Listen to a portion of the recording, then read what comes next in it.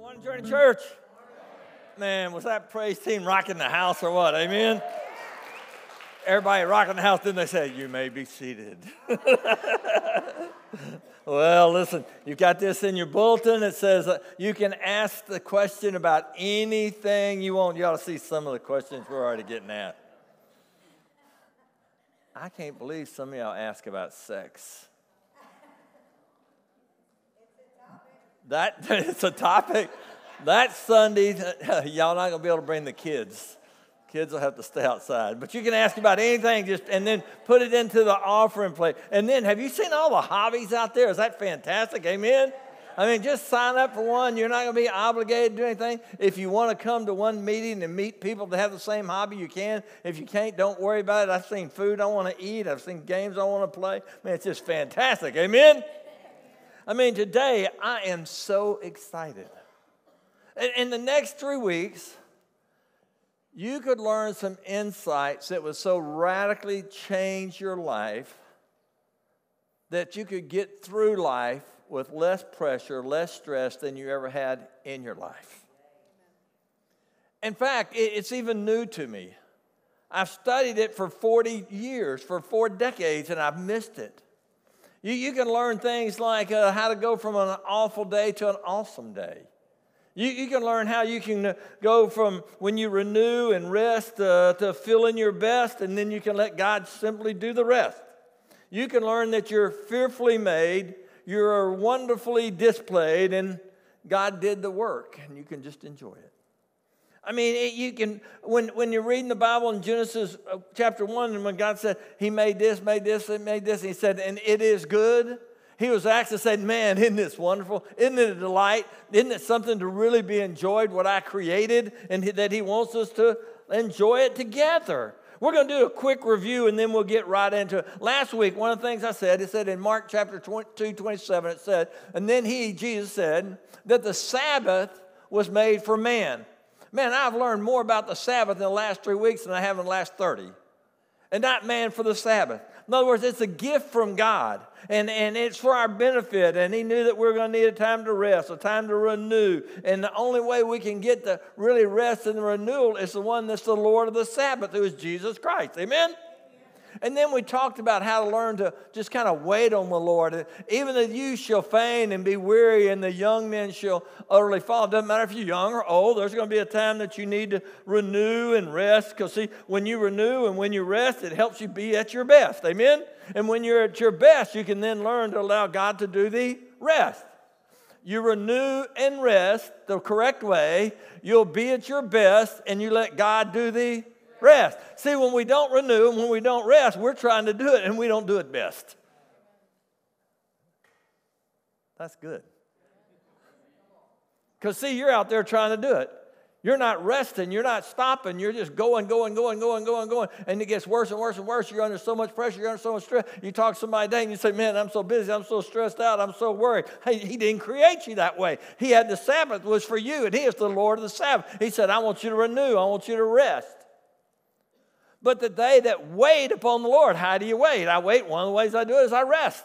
One of the ways I rest is I sleep. When I, when I sleep, I say, God, I'm resting, you take care of the rest. While I'm resting, God, you, you, you heal me, you take care of me, you protect me, you provide for me, you renew me, you recharge me. Amen. One of the ways I rest is I pray. I take God's promise, I meditate on God's word, and I trust God. Because when I wait upon the Lord, He renews, He recharges me, renews their strength. See, when I get renewed and I rest, I become my best. And when you're at your best, you let God do the rest. See, most people think when they're at their best, they got to do it. That's not really true. You're really at your very best when you're letting God do the rest. You do your best and you let God do the rest. Amen? And then, so, so that's just what word he said. He said, renew means to recharge. It means to be encouraged. It means to be strength. And then, then what? Then you shall mount up on wings like an eagle. Why? Because I've renewed and I've rested. I'm on my best. So now I mount up on wings like an eagle. I shall run. I shall not get weary. I shall walk and I shall faint. See, when I get mount up, when I've renewed and I'm rest, and I'm at my best, I mount up on wings like an eagle. I can now see things from a new perspective that I couldn't see before. Before, I was so, I wasn't rested, so I was right in the midst of all the problems. Now I mount up like wings like an eagle. Now I see it and I have new insights. Now I can see down, I can look down, I can now understand the best way to have the wisdom to handle the problems that I didn't have before. And so now it's like a new start, it's like a new beginning. So, wait, to wait, to focus on God's power, to focus on God's uh, promises and not the problems. And so then we went on and said, yes, yeah, so we go from there, we go to Matthew 11, 28, and we said there's four words that you got to remember. And the first word is to come, come unto me. God said it's a command, whatever's going on in your life, especially if you have a problem, if you have a burden, God says, come to me. All who labor and heavy laden, and I'll give you what? Rest. Say rest. So the first two words, you come and you rest. Two words. Come and what? Rest. Take my yoke upon you and learn. What's the third word? Learn. So you come, you rest, and you learn. Why do you learn? For, for I'm meek and I'm lowly at heart, and you shall find rest upon your soul, your emotions, when you're all emotional, when you're all stressed out. Why? You take my yoke and it's easy and my burden is light. So we learned, we told you there's really four important words that you got to learn over and over, that you got to practice every single week. You come to God, you rest for God, and you learn from God, and your burden is light. Your burden doesn't necessarily go away, but now it's light. Man, if you didn't see last week's message, we had Joy and we had some people up here, and she had a, a, backpack, and we filled it with bricks, and you can try to carry it, or you can get somebody to help you with it. And it was like, now we still have the same burden, but it's so much lighter. So you come, you rest, you learn, and you have a light burden. Now, we're going to get to the point that why is the Sabbath for man because God knew that we needed. It. See, the Sabbath is a day to be satisfied and sanctified. And we're going to get to Genesis chapter 2, verses uh, 1 through 3. And this is what's so exciting to me. Thus the heavens and the earth were finished, and all the host of them. God said, Hey, I made the heavens, the earth, earth, I made all the host. And on the seventh day, God ended his work which he had made, and he rested on the seventh day from all his work which he had made. Let me ask y'all a question. Do y'all think God was tired? No. God does not get tired. He does not sleep. He does not slumber. He does not wear out. Well, then why did he rest? You ready? the word rest means here he celebrated all that he created. This is so cool. God said, Listen, man, I've been doing this. I've been creating the heavens. I've been creating the earth. I've been creating all the hosts. I did it for seven days. Then I'm going to rest. I'm going to sit back and I'm going to say, Man, I'm going to celebrate what I did. I'm going to say, Man, this is a delight. This is a glory. This is wonderful. Man, when you see the heavens and the earth and everything that's created, see, if you're not careful, you miss it and you don't even say, This is wonderful. You forget that God created it all. You just go right past it and you miss it all. And that God, He said, Man, I stayed and I celebrated it. Matter of fact, even when God was saying, It is good, He said, I separated the light and darkness. He said, It is good. God said, Man, it is beautiful. It is wonderful. It is marvelous what I have done. See, God created the heavens and the earth, and He was so pleased. He celebrated it, and then He set it apart and for us to celebrate it with Him. And He sanctified it, which means to set apart to be blessed. God said, hey, it is the Sabbath. They're set apart to celebrate with us. The Sabbath is a day of joy, delight, celebration, not rules, not regulation. I, I, you know what I really think we should call it? Sunday celebration. This is really what we should do on Sunday. We ought to have Sunday celebration. Sunday should be the most exciting day of the week. You Sunday celebration, you come Sunday, you take in the word. Amen and you come and delight in the word. Hey, I, am going to talk, because when God said, He would say, I spoke and it is good. Every time God spoke, He'd say, It is good. When He said it is good, He said, Man, this is wonderful. This is delight. I'm excited. So you come Sunday morning and you hear the word and you say, Oh, it is good. Amen? Amen? And so then you take a little time and you rest up a little bit. If you need it, I need it. but, but then, are you ready? Then you start getting in awe, and I'll show you later. Then you're in awe at God's creation. See, you start saying, Man, I can't believe that God created this, and, you, and you're just in awe in what He's done, and you begin to enjoy it. And part of the part of celebration is enjoying part of the creation. And you say, man, now, now I'm coming, I'm focusing, I'm resting, I'm celebration. And, and, and you close out all the stress and all the worry. See, Sunday should be a Sunday celebration. One day of the week that we're not focusing on all the world, all the problems, all the stress. We're saying, man, instead, we're enjoying God's word and we're enjoying God's creation and we're going to do it in a new and exciting way. Amen? And if you would do that every single Sunday, Monday, Tuesday, Wednesday, Thursday, Friday, you could get through it so much better. We've forgotten to do that. Sunday's just another day. We go just as fast on Sunday as we did the rest of the week, and we wonder why we're so stressed out. Sometimes God created and, and, and it should be something in a sense of awe and delight. You, you might see, listen, you can see the same thing see the sky, the water, the sunset, the trees, the nature, a baby, a fish. But now it might, you might sit and say, oh, wonderful. It's a light, even, even amazement the way God created it. Because you begin to see it through a different lens a different lens. it's set apart. You enjoy His creation. It's from a different perspective than you view it. it, it today is God's day. I'm going to start looking through God's lens. It's God's glory. You have to take time. It's intentionality. It takes time. even if, look at this, I, if I'm looking, I have to look through this lens. I have to focus it. I have to look through it. I, I, did that yesterday. I was thinking about how God's creation was, and, and I saw a bird. It's about 60 feet up in the air. Thank God I had my glasses on because the bird's only five and a half inches. And you, can you barely see him up there? And most of the time I just drive by him. Well, most time I wouldn't even see that sucker. In fact, I had to go get some glasses made where I could see him. I went with one time, well, Shelby's not here, but he'll be back there if you want to do it. And I went with him one day and he was saying, Man, is that cool? You see that bird? I don't see that bird. So I went to, I got some glasses now that I can wear when I go out and bird hunt, and I could now I could see that bird only five and a half inches, 60, 70 feet in the air. But if I really wanted to see that bird, if I want to say, man, ah, oh, I had to take this camera and I had to focus it. I hadn't just looked through it. I had to focus it and see it through a different lens. When I refocused it, I looked through a different lens. Now look at the bird. That's what I said. Everybody say, ah. Oh. oh, I like that. God wants to look through a different lens. And He wants to say, oh, that's God's creation.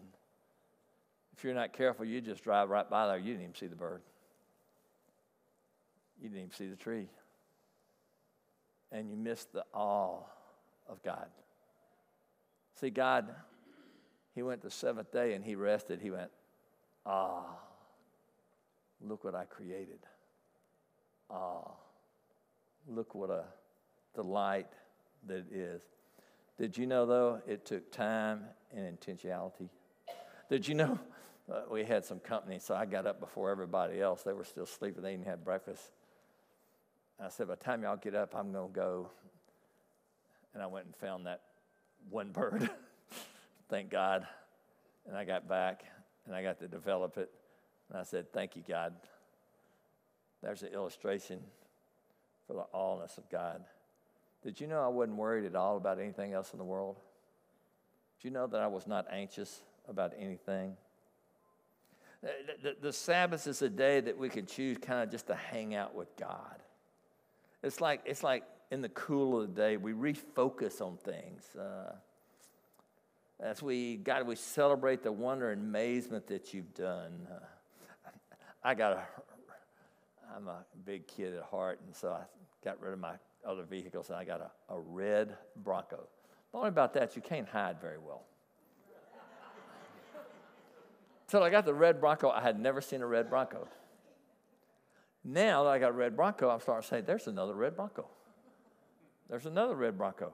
I hope they get more red Broncos. You know why I want to see more red Broncos? Because then they don't know that's my red Bronco especially when I'm doing things that I shouldn't be doing in my red Bronco. No, no, I shouldn't do it. Uh, but it's so easy to miss things. I mean, uh, there's a picture. I want you to look at this picture. It's really a cool picture. And you see the girls just hanging out. Is that cool? But you know, if you're not careful, if you don't focus on it like God would have you focus on things, we miss that. Can you squint and see the same picture? Does it look any different? Huh? Do you see the girls hanging out? If you're refocused, can you squint your eyes and see somebody else in the picture? Who do you see? Did you know that so many, so many times during the week you're just going so fast, all you see is the girls and you miss what Jesus is doing in your life? But when you see Jesus, you stop and go, ah. What if you slowed down? Especially on Sunday. And you said, I'm going to quit worrying about the world. What I'm going to do is I'm going to come to God's house and I'm going to take in God's word because when God spoke the word, He said, It is good. And that means you come to God's house. You say, Oh, God, this is good. Then I'm going to rest.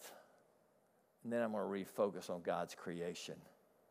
And I'm going to see it in a way that I've never seen it before.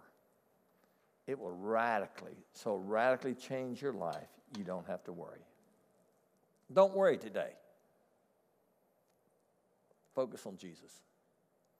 Adam had the awesome day with God, and he got to name the animals and, and uh, see the woman formed. He must have been something in Genesis chapter 2, verse 19. It said, Out of the ground, the Lord God, he formed every beast of the field, every bird of the air, and he brought them to Adam to see what he would call them. And whatever Adam got to call each living creature, that was its name. That, that had to be cool.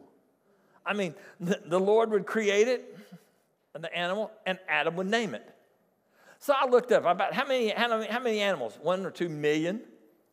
There's 8.7 million species. So I said he couldn't have had that many different animals. Well, so maybe it's just types of animals. So he'd bring all these birds and they'd say, okay, uh, those are going to be called birds. There's still thousands of those. But that still had to be super cool because unbelievable, you know, and an awesome day must have been together. They'd hang out with God together and, and you know, every need would be met. And he'd bring the animal and Adam would name it. He'd bring another animal and Adam would name it. And man, they just had this unbelievable time together. Adam gave the names to all the cattle and to all the birds of the air and every beast of the field. Uh, but Adam, there was no one found to help compatible with him. I don't know how long this lasted, but this is what I think happened. This is James' version. Y'all can ask Jesus. It's in James 8 8. this James 8 8, not that book, James 8 8. I, see, I think Monday, Tuesday, Wednesday, Friday, Saturday, I think every day, every day during the week, they'd get together, maybe it's in the cool of the day in the afternoon, and, and, God would create animals and birds, and they'd bring them to Adam, and Adam would name them, and they'd do it the next day, next day, next day. And, and then uh, Saturday, Sunday, the Sabbath, they'd get together and they'd say, Wow, oh, let's enjoy what we created, what we named. Wouldn't that be cool? Go all week and you created things and you name it, and, and then the Sabbath you just enjoyed what you did, and they did again, did again, they did again. And I don't know how many weeks, I don't know how many months it took, I don't know. But man, they were enjoying each other. And then finally God said, You know what, Adam, you need somebody else to enjoy time with. You need someone else to be in awe with. You need somebody else when we see all these animals, see all these plants, we see all this creation, which is the most beautiful place in the world to be. And Jesus is here, and He's going to bring us back to that one day. And it's going to be this beautiful creation. We're going to have a new heaven, a new earth, and it's going to be all together to enjoy again. And He said, Man, you need somebody else. And God said, Hey, guess what? When you have a need in your life, even if you don't have it, I can create it for you. Whew. Huh? And so Adam had this need in his life. So God said, Guess what? I'm, I'm going to do something. I'm going to do something for you he said, uh, I'm going to make a difference in your life. And so Adam was hanging out and all these names and all these different birds. And I mean, I got to where I love birds. Now, it used to be I didn't know one bird from another. I didn't care. I didn't even see the birds. Now, now I have 90 different types of birds already. But I looked up this week, there's 10,000. 10,000. And what's, what's cool about the birds, what I'm learning, is it's, it's not the birds, it's, it's all these different shapes, it's all these different colors and, and it used to be a bird was a bird was a bird's bird you know. And, and now i'm saying man god you created so many different types so many different shapes so many different colors. I mean who would believe that, that, that look at that bird. Is that cool? I mean look at the different colors in the birds. I mean now i say man god that's not just a bird. God that is cool. Man can you believe? Look at them that god said that's nothing to god and, and it is different types and different birds. And man, I used to just thought, man, this is the coolest thing. I used to never even think about it. Now, I now not, not only take love taking the pictures of birds, I'm in awe at what God can do with the different colors and different shapes. I, I can I can go. I don't worship the bird. I worship the creator of the bird. what a difference it makes to go out and worship the Creator. And, and no, I, I don't go out and say, hey, since I go out and take pictures of bird, I don't need to come to church. I can tell you that's a bunch of B, you know, whatever. That was for bull. That wasn't BS like y'all thought I was going to say. But anyway, no, no, no, no. Because you got you got to go out. You got you got to come in and get the word. Because God said it was the word. Every time I work the word, the word is so powerful. That's what changed life. That's what brought into creation. And then go out there. I can see that bird. That bird can't create anything. God created it. So you got to come inside and you take in the word. Hit. That's what changes lives. Amen. But Adam, he needed somebody else to celebrate with. So the Lord said, "Hey, guess what? I'll cause a sleep and fall upon Adam. And, you know, he slept and he took a, one of his ribs and he closed it up and the flesh in its place. Amen. And God, he's, God such a creative God that he took the rib of, uh, which the Lord God had taken from man and he made it or shaped it into a woman and he brought her to the man. this is really cool because not only did he bring her to man, Adam said he got to name it. This is bone of my bone and this flesh of my flesh. She shall be called a woman because she was taken from man. Do you think Adam, man, he said, God, it was really cool naming these animals, but this is the coolest thing you've ever done. I mean, man, I mean, he had to flip out. When she brought, he brought her, he shaped her. Don't you know that was something? For Adam to see a woman after all he's seen in birds and animals? I don't really think he said, This is bone of my bone, this is flesh of my flesh. I think that was the nicest thing they could put in the Bible. I, I think he said, Oh God, I knew you were God, but you did it now. This is woman.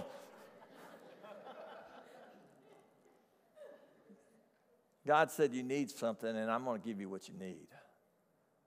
See, and I think at this point, they were getting to celebrate all creation together they were getting to celebrate God together. They were getting to celebrate the creation together. They were getting to celebrate everything God had done together. But you know what? I believe there's things that people need, and God knows what you need. And that God can create something out of nothing. The scripture says, I'm making you the father of many nations, but he said, This is true of God, of Abraham, I believe.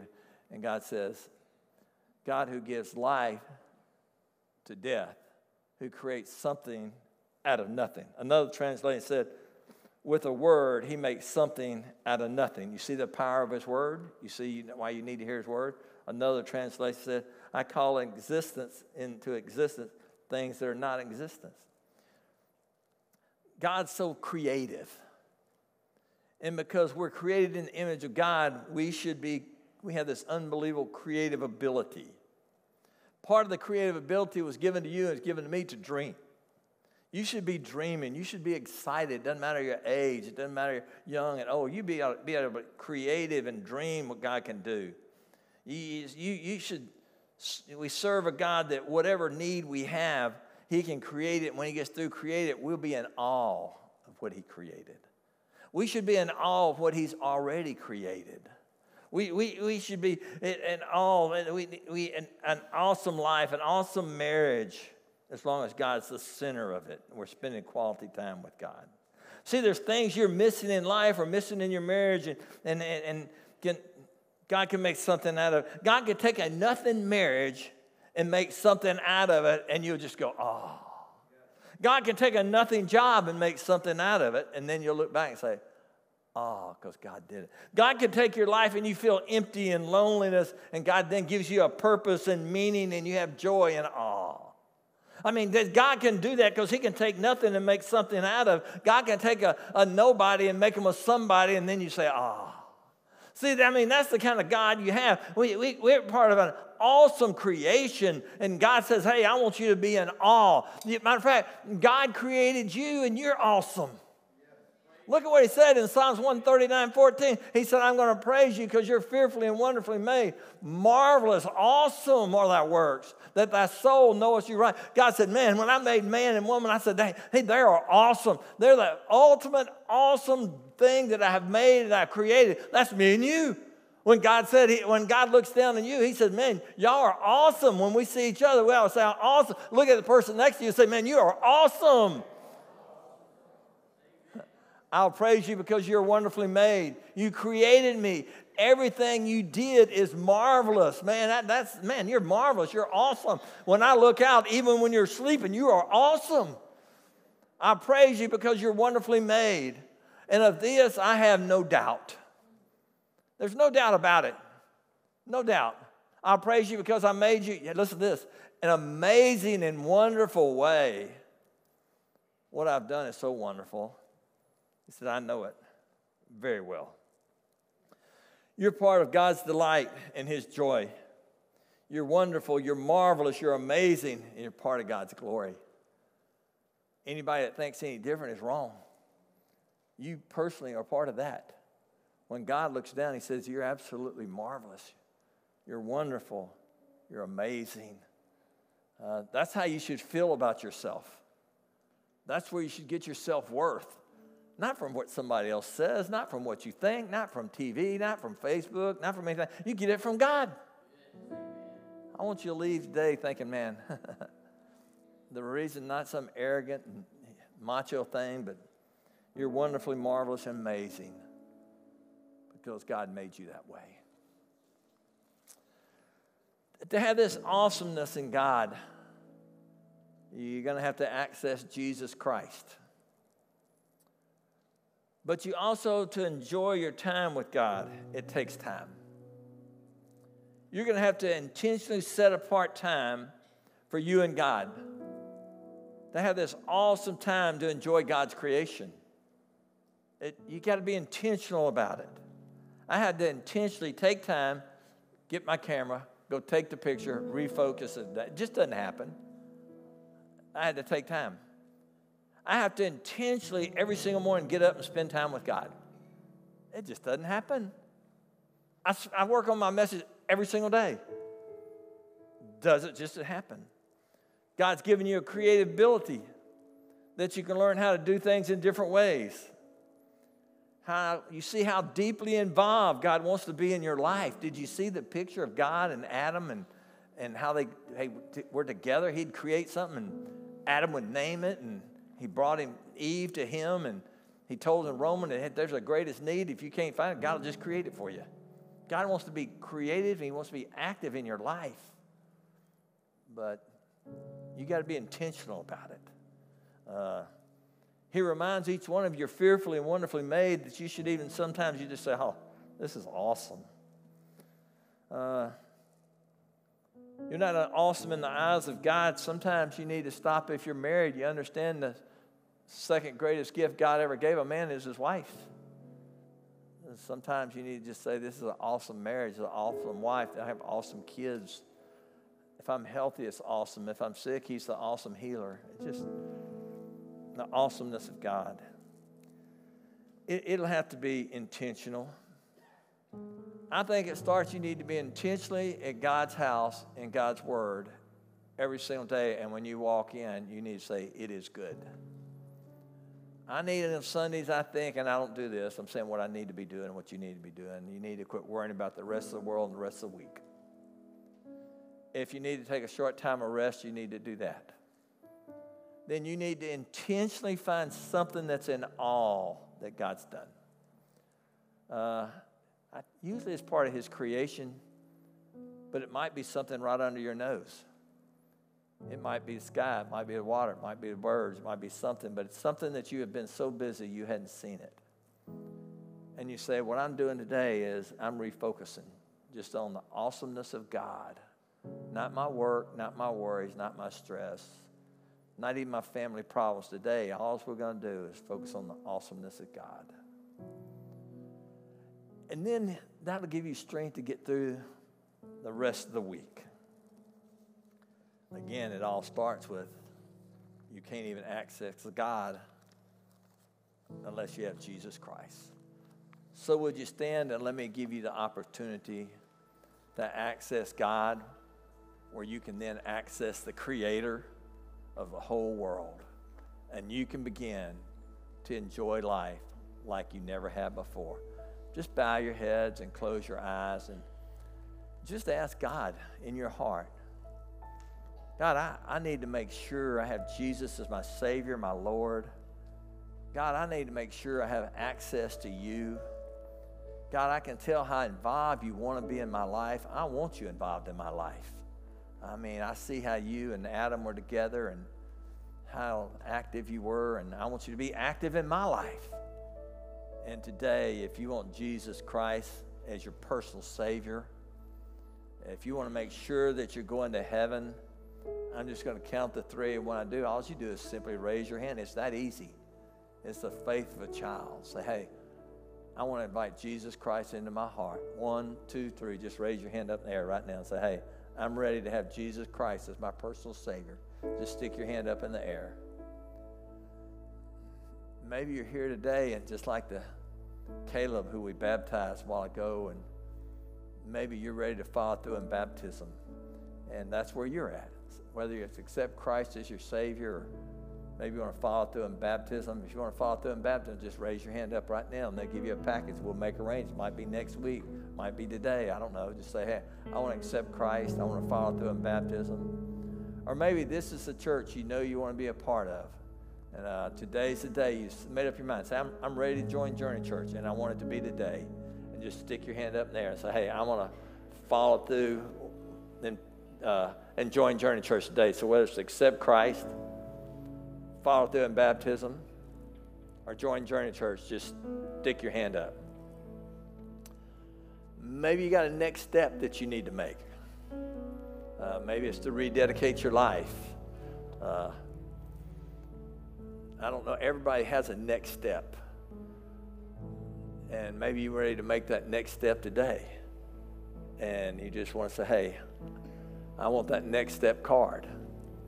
And uh, just raise your hand right now, whether accept Christ, follow through in baptism, join the church, or just have a next step you feel like God's calling you to make. Just raise your hand right now.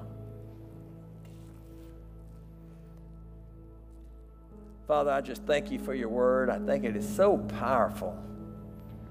I think it's so clear how you want to be involved in our lives and active in our lives. And God, I think it'd be great if we could come into your house excited and say, Yes, God, it's just a joy and a delight when we come in, just hear your word and we take it in. As we go out today, God, that we rest, but then we, we become in awe about your creation. And today's the day that we don't focus, we don't worry, we're not anxious. We close out all the worries and anxieties of the world. We focus on your power, your promises. God, that alone brings rest. Now, God, maybe there's other things you need somebody to pray with you and pray for you. Man, we got wonderful counselors downstairs and upstairs to be glad to pray with you and pray for you. And if you feel like you need to pray with them, just come down. Father, I ask all this in the precious name of Jesus. Amen.